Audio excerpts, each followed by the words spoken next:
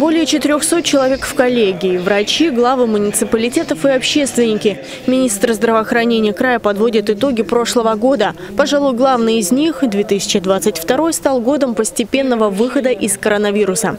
За 12 месяцев в крае зарегистрировано 19 миллионов посещений больниц, проведено 550 тысяч госпитализаций. Для себя ставим следующие амбициозные задачи. Это создание системы планирования госпитализации, которая сегодня уже внедрена в 15 медицинских организациях. И 23-24 год мы должны завершить работу для обеспечения жителям Алтайского края необходимой этой медицинской помощи. При этом министр подчеркнул, что ковид, который в свое время парализовал систему здравоохранения, все еще остается с нами. В реанимациях один-два человека всего лишь, а на пике это было до 300 человек в крае в целом. Весь тот опыт, который мы за три года наработали в части организации работы, знаем, каким образом теперь его уже лечить, мы должны сохранить и уже по-другому реагировать. Большую часть доклада Дмитрий Попов посвятил модернизации технической базы. Так, за пять лет в регион закупили более 11 тысяч единиц техники. А после этой коллегии чиновники торжественно отправят в районный край 63 специализированных автомобиля. Приятная новость для отдельных медиков.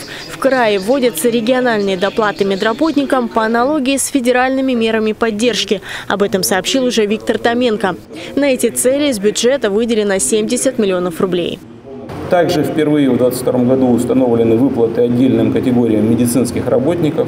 Ежемесячные выплаты получат более 90 фельдшеров, свыше 120 участковых врачей, врачей э, и более 25 специалистов особо востребованных специальностей. Из краевого бюджета также получат поддержку порядка 360 наставников. Серьезной и до сих пор нерешенной проблемой остается дефицит кадров. Министр здравоохранения предложил готовить врачей со школьной скамьи. Уважаемые главы, сейчас обращаюсь к вам. Мы видим год от года снижение и в 2023 году, несмотря на то, что мы с вами обсуждали эту проблему в 2022 году, Школьники все меньше и меньше хотят выбирать и биологию, и химию на сдаче ЕГЭ. То есть они теряют какой-либо шанс вообще поступить в медицинский вуз. Давайте все-таки вариант целевого обучения и подготовки будущих врачей начнем со школьной скамьи. Главы муниципалитетов не зря присутствовали на встрече, ведь иногда от их участия и без участия также зависит качество оказания медицинской помощи. Мы разработали совместно а, с нашими главными врачами, врачами с Министерства здравоохранения Алтайского края программу по городу Бийску, где мы будем а, работать с населением, будут проводиться а, круглые столы, совещания, собрания, личный прием главы совместно с главврачами, и мы будем все вопросы, все вопросы, которые у населения есть, острые, проблемные, обсуждать. Основной задачей для региона Дмитрий Попов назвал повышение продолжительности жизни к 30 году до 77 лет.